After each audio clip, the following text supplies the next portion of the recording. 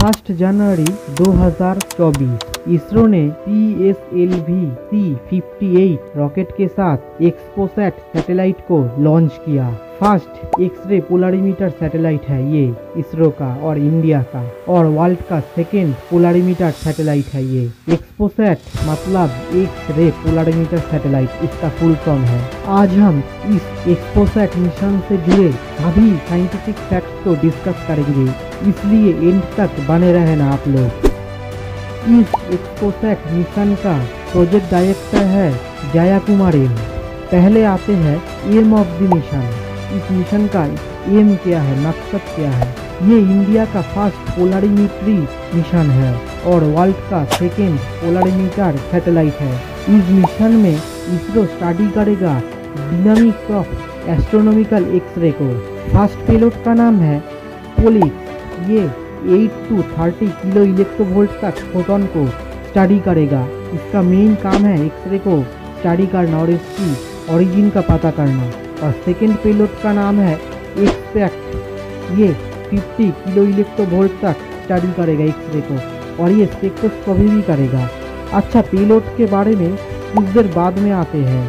इस मिशन का मेन मकसद है ब्लैक होल को स्टडी करना। न्यूट्रॉन स्टार को स्टडी करना कॉस्मिक एक्सरे को स्टडी करना पाल्सर विंड को एंड नेबुला को एक्सेप्ट्रा को स्टडी करना, इस मिशन का मेन मकसद है। ये एक्सपोसैट धरती से सात हज़ार तीन सौ सत्रह किलोमीटर ऊपर में ऑर्बिट में घूमेगा मतलब इसका पोजीशन है ये।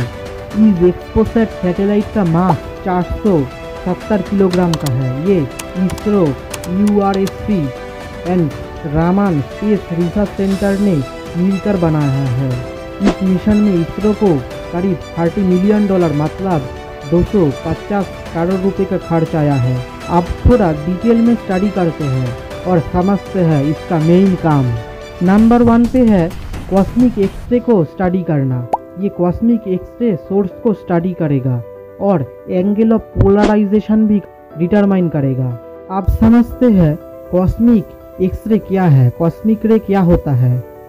स्पेस से जो पार्टिकल धरती पे आते हैं like alpha beta gamma x-ray इसी को हम कॉस्मिक रे बोलते हैं। और ये एक्सरे को कॉस्मिक एक्सरे बोलते हैं। और एंगल ऑफ़ पोलराइजेशन क्या है? पोलराइजिंग लाइट अगर कोई भी कंपाउंड में से पास होता है, तब वो कुछ एंगल में घूम जाता है। इसी को हम एंगल ऑफ़ पोलराइजेशन बोलते हैं, जो एंगल में घूमता है। इससे हम केमिकल कॉम्पोजिशन को लाइट का वेवलेंथ फ्रीक्वेंसी को स्टडी करते हैं। नंबर दो पे आते हैं। न्यूटन स्टार का मैग्नेटिक फ़ील्ड को स्टडी करना। न्यूटन स्टार मतलब जब कोई स्टार का डेथ होता है तब, वो ब्लैक होल न्यूटन स्टार और वाइट ड्राफ्ट में चेंज होता है। ये इसी न्यूटन स्टार की मैग्नेटिक फ़ील्ड को भी स्टडी करेगा। ये एक्सपोसेट सैटेलाइट नंबर थ्री पे आते हैं। ब्लैक होल स्टडी ये मेन मकसद है इसको का। ब्लैक होल को स्टडी करना। ब्लैक होल से लेकर सभी फैक्ट कैसे बनता है, इसका क्या क्या प्रॉपर्टी है, सब सब कुछ मैं बाद में डिस्कस करूँगा वीडियो पे। इसलिए चैनल को सब्सक्राइब कर देना भी ताकि आप लोगों को कुछ मिस ना हो। और नंबर फोर पे आते हैं सुपरनोवा और थर्मल इमिशन को स्टडी करना। सुपरनोवा क्या है? जब स्टार का डेथ होता है, तब वो बॉम्ब की तरह फटता है और इसका एक high energy high energy and high temperature होता है।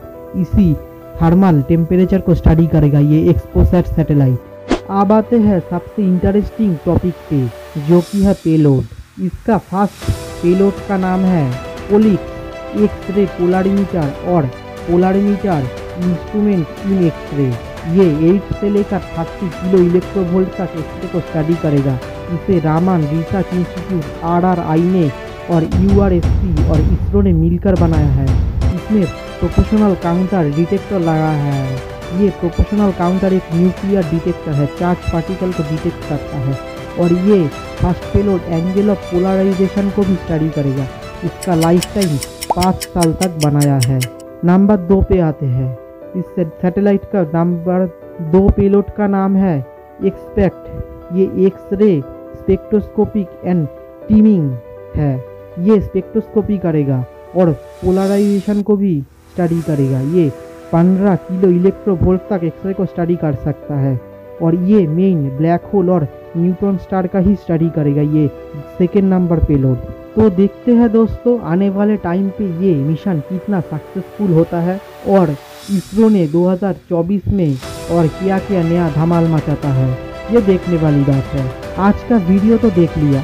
इस वजह से थैंक यू वीडियो पसंद आया तो चैनल को सब्सक्राइब करके फेसबुक पे फॉलो कर दीजिए और एक वीडियो को लाइक भी कर देना अगर वीडियो पसंद आए। और आपने अभी तक अगर लूना 26 और लूना 27 का वीडियो नहीं देखा तो डिस्क्रिप्शन पे लिंक है।